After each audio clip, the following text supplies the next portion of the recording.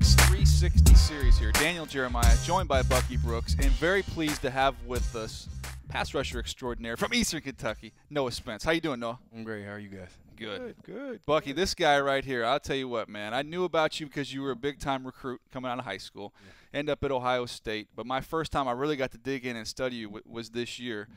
And you were wrecking shop. You're like a one man wrecking crew out there out there for EKU. How did this year how did you feel this year went for you? Um, I felt it, it was it was great. You know, it was it was a blessing to be able to come back and play football for another year, and um, yeah, I mean just to just to come back and like play the sport I love, and um, yeah, I mean just be out there playing football again. So Let's talk briefly about the process. How did you end up at Eastern Kentucky coming out of the situation at Ohio State? Just kind of talk about the trials and tribulations. um, there, there was a lot going on, you know, uh, with me getting suspended and everything, and then I ended up uh, talking to Coach Meyer, and he told me uh, his best friend was the head coach at Eastern Kentucky, and I was like, oh well, yeah, I mean, and um, he uh, set up a meeting with me and him, and uh, I ended up going to going to Eastern Kentucky. So. What was that? What was that like when you first got there at, at EKU? Okay, you come down, you're dropping down a level competition. Everybody on that team knows who you are. What did you do when you got to that football team to fit in, to let those guys know, hey, I'm not, I'm not above you guys. I'm one of you guys. Um, basically just act the same as I always do, man. I, I respect everybody, you know. Uh, I treat everybody the same, so I didn't I didn't make myself feel like I was bigger than any, anything or any the program or anything like that. So What's the, what's the? I want to hit this one real quick, Buck. This is kind of the questions we would ask if we were in a combine interview. I'm sure you've got you get asked these types of questions all through this whole process. Right. But the one thing uh, that you've learned, the biggest takeaway, the biggest lesson you've learned, you've been on, on an interesting journey here as we head towards the draft. If you were just to break it down to one thing, what's the one thing that you've learned through this whole process? um, stay humble and keep God first. Do it all. That's a good deal. Go ahead, Buck. So now you go to Eastern Kentucky, you put up nice numbers playing small school competition, but all scouts want to see how you do against big time competition at the Senior Bowl. I know you had the experience of Ohio State in your back pocket. What was your approach when you went to the Senior Bowl? What allowed you to dominate the level that you dominated during those practices? Um, I knew it was it, it was a big opportunity for me, and I felt like I, I just knew like coming in there I, I could play football with those guys, and I just did all I could to dominate. So Well, you dominate. You even knocked down a coach. I actually uh, I put out a vine out there that showed you one of the one-on-one, or actually it was a one-on-one pass rush. And you're doing one-on-one pass rush, for those who know, you've got a coach. It's usually like a quality control coach sitting there just holding the ball. the dude took him down, man. You hit the guy. Uh, but what I want to do here, we're going to do a couple things. We're going to show some video of you playing. I'm going to let Bucky kind of break down your game, and then we're going to flip the script. We're going to show Whitney Mercilus playing at the next level and let you play scout. But Bucky, what do you see here? This is a Senior Bowl. What do you see from Noah Spence? You know, the one thing I watched and, and I noticed when I watched Spence's first step quickness, your get off there it is. You took the dude down. your get off, your ability to play and anticipate the snap count, your ability to turn speed into power. And to me, it appears that you have a couple of different moves in the repertoire. So when looking at you on tape, I can see your game translating well to the National Football League on third down, obvious passing situations that you can be a closer, a guy to get to the quarterback. All right, That's what I saw when I looked at it. Let, us go look. We saw some Senior Bowl footage. I think we have some footage of you here at EKU.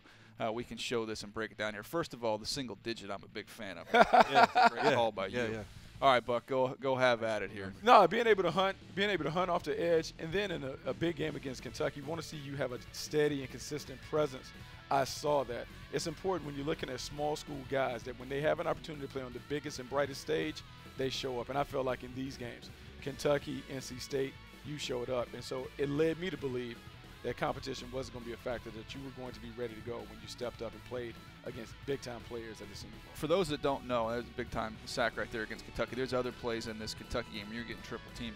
How much attention were you seeing on a regular basis at that level? Um, a lot, a lot of that uh, triple team, like bringing the running backs and like tight ends and stuff to come try to block me. I don't remember you coming off the field either.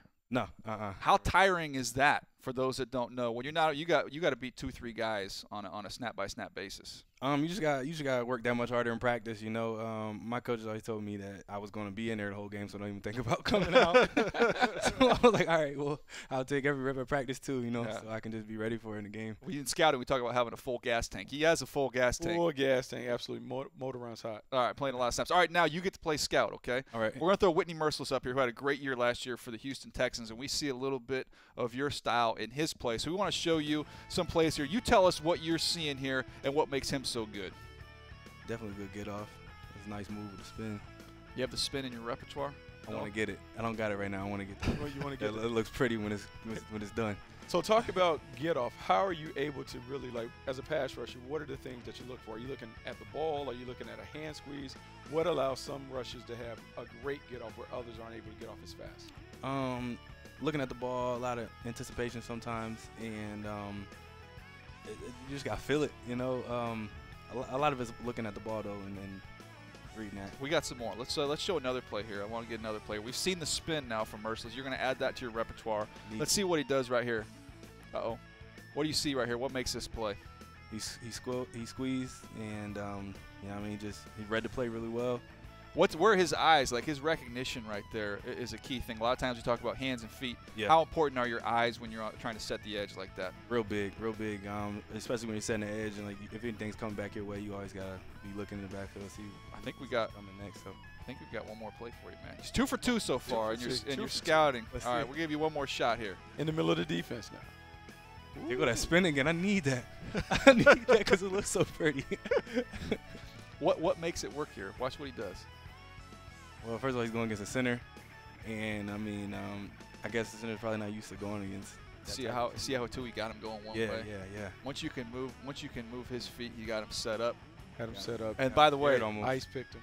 You got uh, you got an opportunity now. Once you make a sack at the next level, what's your uh, what's your thing? You know, we got. Yeah, do you ever think? Because Von Miller has a Ooh. thing where he dances. Well, we got Jared all. Allen does the whole lasso thing. Yeah, you got to so- have so a you, thing. got, you have to have a signature. I don't got one yet. You don't have it yet? No, I Yeah, gotta we need to work on it. happens See, after the We- first we need- sack. We need to work on that. All right, but Work how long are you in California?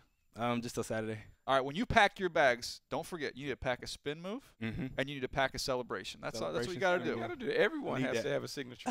got to have a signature move. Ah. Got to. Go to have to. All right, man. Hey, no, I appreciate you taking some time and, and spending it with us here. We wish you the best of luck as you, you. march towards your NFL journey here. Thanks for having me. Uh, man, this is, a, this is a very good pass rusher. Team looking for a pass rusher. We've got one right here in Noah Spence. And that's going to do it for us here on this episode. But you need to check out all of our Move the Sticks 360 series. We've got some of the best players in the draft coming in this studio. We're going to scout them, and then they're going to have to do a little scouting themselves.